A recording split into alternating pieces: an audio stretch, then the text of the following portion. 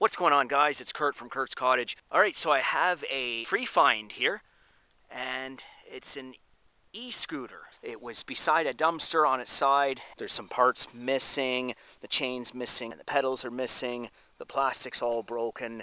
So the big question here, will it work? Alright, so what I want to do is I want to try to see if I can get this thing going. But when I looked inside, down in here, I found these batteries. Now the batteries were all wrapped in duct tape and there was these wires on here like around. It looks like someone tried to solder it but just didn't really know how to solder. And there was these ones here, a 6 volt battery. They put two of them in series, so 12 volts here, and then these two are 12 volts. So you've got 24 volts. And then this one looks like an original. you can see what they did, how they soldered it. Really bad. Well, this battery's completely finished. I started charging it. Let's see. So you can see here. So it's 13.2. So that battery's pretty well fully charged, but I don't know how much current it's going to have. Now that one only has a volt, 6 volts. So this battery actually has got 13 volts. So these two batteries are, are good, or some, they could be good. This one, and but this one here is, is dead. This one here is all swelled. I'm not sure what this is for. There was two wires shoved in to the connector. Take that out of there. So that was you see that's broken off there. This connector here was sitting in the bottom. What I need to do is take this off.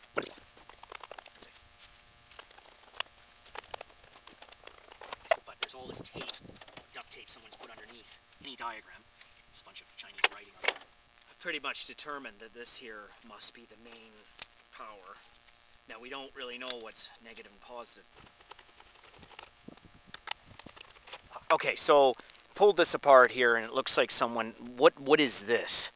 It looks like it's just a tie of some sort. The ignition switch, the ignition switch is broken. It's here with a push button. So if you can't, how are you going to hold it? You're going to hold that while you're riding along? Is that the idea here? I don't know, but this here was this was the override for the switch and that was just pushed in there. So look at this there we go. So there's your, now it's on. Like the connections are no good in there, so I might as well just cut this off. I have a battery here from Booster. This is a big one. I don't know if it's going to fit in the e-bike though. And I've got another boost pack. I think it has a battery exactly the same size. Jeez, look at this. There we go. Okay.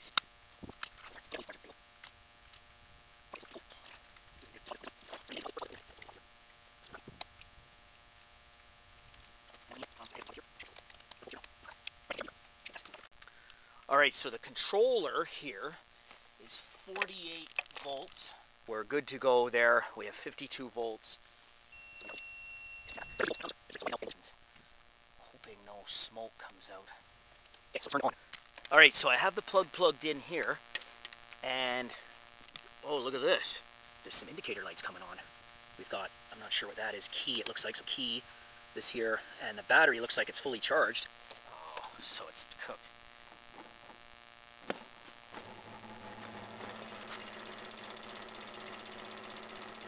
Something is wrong with it.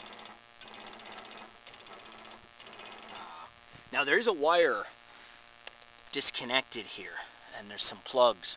So let's take a look at that. Hooked it back. I've connected this wire here. Let's see what happens. Oh. No way. no way. That's crazy. Yep, it's got power. It's wrecking my boot. Yep, it's got power. Alright, so I'm stoked about this. so what I'm going to do is disconnect this, take the batteries over, get them soldered up, and then get these batteries into this e-bike, and we're going to take this thing for a run. Get that off there. Alright, now we got to clean things up really good. That's maybe what they didn't do when they, they went to solder them.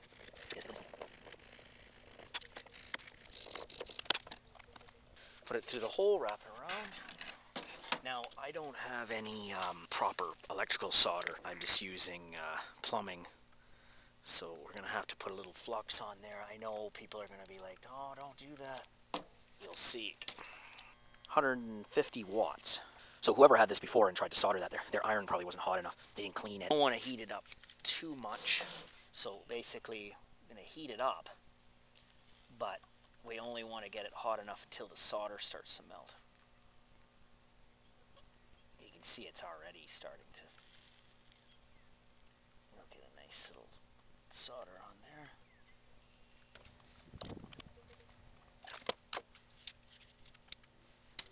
Safely do this really shorty.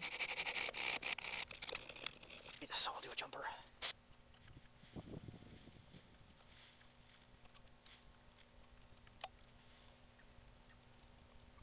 Okay.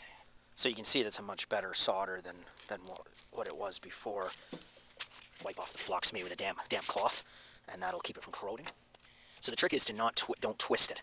Leave it like that and then push it through and then do your, your twist over. That's what I do. You can do whatever you want. Professionals can, they can leave comments how to do it properly if they want. So we've got our positive here, and we're gonna go to the negative. Shorter the better on these wires.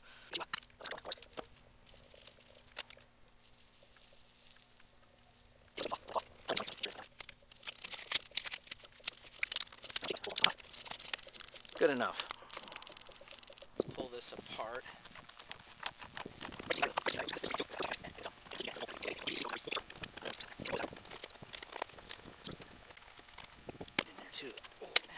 this one here is a 12 volt, 18 amp hour.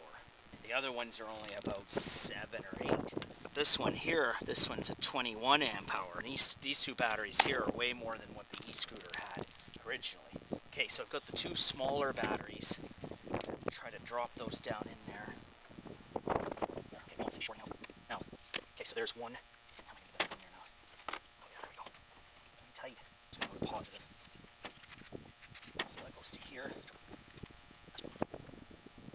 Slide that into there. That should be off. There, makes more sense. We'll just put a red on there. I know it's on. It's not the greatest.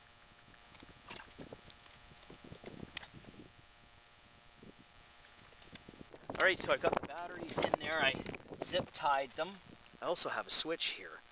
And it's a keyed, it's a computer cut key switch I found. All you got to do now is turn on this breaker here.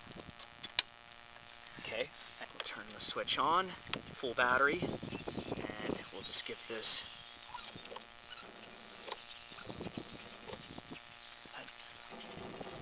Okay, so I discovered that there's an electrical problem. Alright guys, so I may have found the issue. This this plug here, it's loose, completely loose, just like falling out. So what I need to do is pinch this. That's definitely going to be tight now. There. Okay, so let's put this back in here. There. Push this one back in. It's nice and tight now. Okay, let's try it again. Power's on.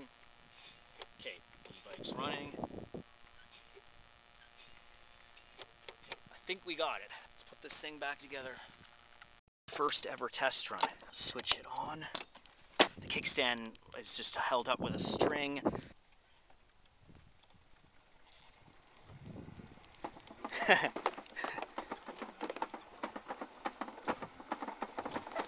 Seems to be working. This is pretty funny. So, and the battery's still good. Let's get it out of here, take it for a drive on the road. Still got battery power. Thing's really slow. It won't go over 15 kilometers an hour.